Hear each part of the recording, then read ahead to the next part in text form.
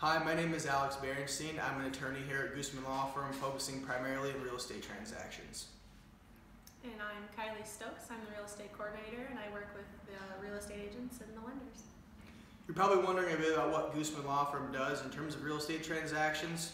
We handle the transaction from start to finish. We include things like title opinion and all the closing work. It's basically our job to help facilitate the transaction for all parties involved. We work with buyers, sellers, and real estate agents to make sure that all parties get exactly what they want out of the transaction.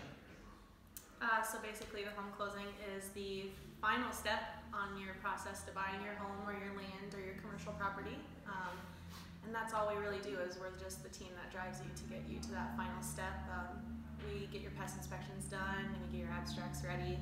Um, here at Goosmann, we do your title opinions as well. Um, we will review your abstracts for you to keep you protected there. And really, you just come in um, anywhere up to 45 days from when you sign your purchase agreement, and that's where we'll be here, and we'll close that property